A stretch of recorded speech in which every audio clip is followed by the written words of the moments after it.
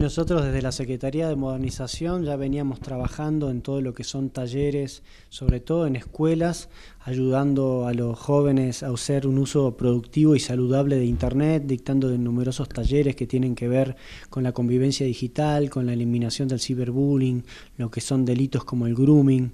Eh, y en este marco el tema ludopatías comenzó la verdad que a salir con fuerza y estamos trabajando en una mesa eh, intersectorial con el Ministerio de Educación, los distintos organismos que ya vienen trabajando independiente e individualmente este tema, pero ahora de modo mucho más articulado. Y en el marco de esa mesa de trabajo nosotros hemos procedido a eliminar el acceso a 60 páginas web,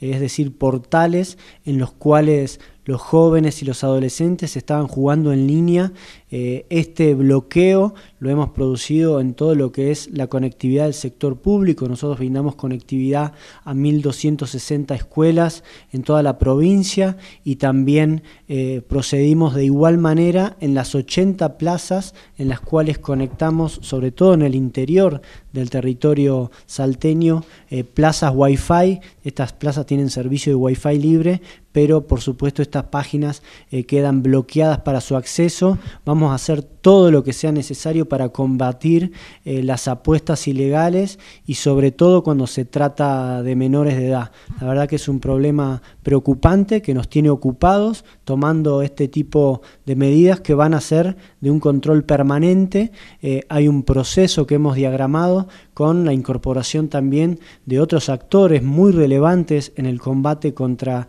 este flagelo, como lo son el Ministerio Público Fiscal, la Fiscalía de Ciberdelitos, eh, lo que es el ente regulador de los juegos de azar, entre otras también organizaciones de la sociedad civil y las universidades, para que el proceso sea permanente e inmediato. ¿no? Hay una detección de un sitio que está realizando apuestas en línea ilegales y donde los menores pueden acceder, ese sitio se convierte eh, en baja y no se puede acceder desde eh, la conectividad pública. Al margen de esto, también estamos convocando a las empresas de telecomunicaciones, tenemos una serie de medidas para proponerles, para avanzar en esto y que sea también el sector privado el que eh, colabore en combatir esto que lamentablemente y, tristemente ha crecido muchísimo, sobre todo en los pueblos y en los lugares que más necesidades tienen y donde muchas veces hay más desesperanza y complejidades económicas, el juego crece y la verdad que no queremos